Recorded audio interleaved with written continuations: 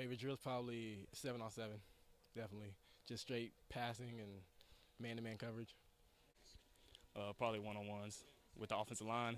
Uh, you get to work on all your different types of moves. It's not just about winning; it's about working different moves, not just moves you know you can beat them with, but it gets us better to rush the passer during the games.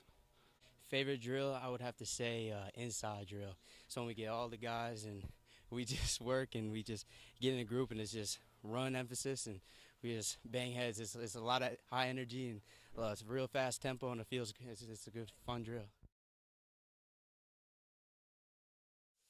Water on my wrist, it helps a, a lot. I like it. Yeah. You just gotta hydrate. You gotta take care of your body. You gotta be in here an hour before the practice and an hour afterwards, taking care of your body. So you gotta do: hydrate, stretch, roll out. If you have a, if you're hurting somewhere, make sure you get it treated. You just can't take your body for granted. You gotta treat it right. Uh, the cold tub. We go over there. We get in the cold tub. You kind of just sit down in it, and it's I don't know, I think it's like 58 degrees, and kind of just chill your body down and get ready and get ready to come out for the next practice. I would say Steven Jackson from the Rams. Great, great guy, big, fast runner. I like him a lot. I mean, actually, Von Miller is my best athlete. I just love watching him. He's physical, fast. He's just a crazy athlete. Best player in the NFL to me. I would have to say uh, Mike Hart. Uh, he played at Michigan and went on to go play at the Indianapolis Colts.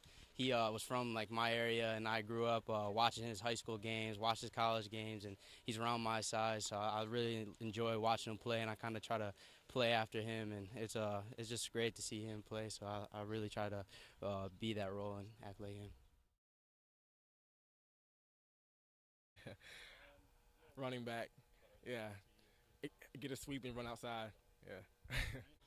sort of like a flex tight end receiver. That that'd be lit. That'd be I'd love to do that.